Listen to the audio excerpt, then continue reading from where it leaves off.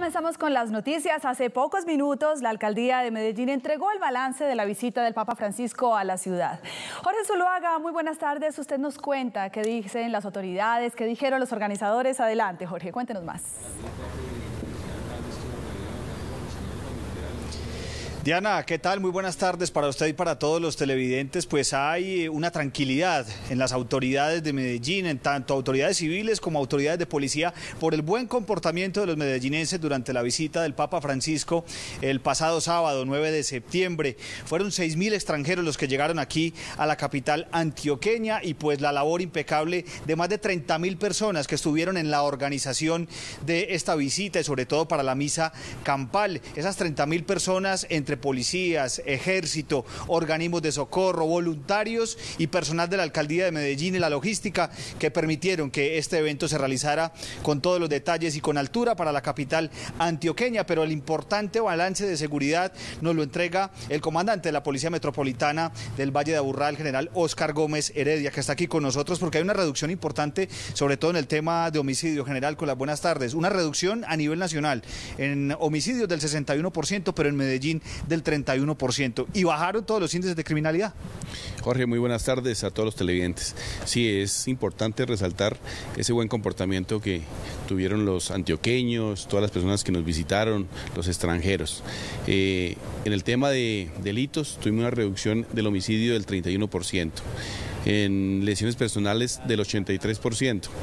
Y en los demás delitos como el hurto a personas, a residencias, a comercio, tenemos igualmente una reducción muy importante eh, que definitivamente decía Monseñor, qué bueno vivir en una ciudad eh, que, esté en paz, tranquila y vivir en fiesta.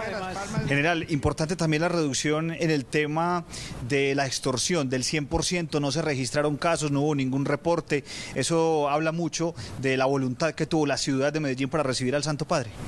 Sí, eso habla del buen comportamiento, de la de todo lo que las autoridades realizamos en beneficio de este evento, en beneficio de la ciudad, de mostrar, mostrar una Medellín totalmente diferente, eh, donde la gente, la, nuestra comunidad, trabajó intensamente con sus autoridades para mostrar la mejor cara de esta ciudad tan, tan bonita, tan bella. No se me vaya general porque las impresiones fueron de lado y lado, como lo mencionábamos eh, cuando comenzamos esta información desde aquí, desde la alcaldía de Medellín. Impresiones desde las autoridades civiles como el alcalde, pero también de las autoridades eclesiásticas. El alcalde de Medellín, Federico Gutiérrez, resaltó ese comportamiento de los medellinenses, pero el arzobispo de la ciudad pues también destacó que hubo un cambio en la personalidad de cada uno de los medellinenses, independientemente de su religión, de su credo, porque dice el arzobispo, vino un discípulo de Cristo que mostró el camino del Evangelio, las impresiones del alcalde y del arzobispo de Medellín. Y que el balance es muy positivo y esto es gracias al trabajo en equipo, gracias a un proyecto en el que veníamos trabajando ya varios meses y gracias al comportamiento de la ciudadanía también. Ha venido un discípulo y apóstol de Cristo, el sucesor de Pedro, a mostrarnos el camino del Evangelio 12 y 7 de la tarde, seguimos en directo desde la alcaldía de Medellín. Hubo un acompañamiento muy especial por parte de la Policía Metropolitana del Valle de Aburrá y tuvo que ver con el helicóptero, el Halcón 1, que estuvo muy pendiente de cada uno de los pasos que dio el Papa Francisco en la ciudad de Medellín, el acompañamiento en todos los recorridos del Papa Móvil, pero también la vigilancia constante desde el aire durante la misa campal. Eh, general, este acompañamiento del Halcón 1 importantísimo para entregar ese mensaje de paz y de tranquilidad desde el aire, porque se escuchaba en el megáfono eh, cómo invitaban a la ciudadanía a disfrutar de esta santa visita. Bueno, este fue un evento bien interesante que se debe precisamente a la planeación. Por espacio de cinco meses estuvimos planeando este, este evento, esta visita del Papa.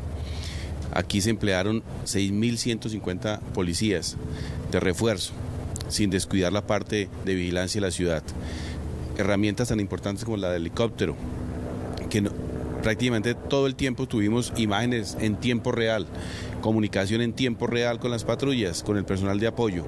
Y eso se vio reflejado en que el servicio de policía, el servicio de todo el evento de la visita del Papa en la ciudad de Medellín fue impecable. Esa es la palabra que, que uno puede resumir todo ese trabajo de todas las instituciones fue un trabajo impecable el que se llevó a cabo durante la visita del Santo Padre.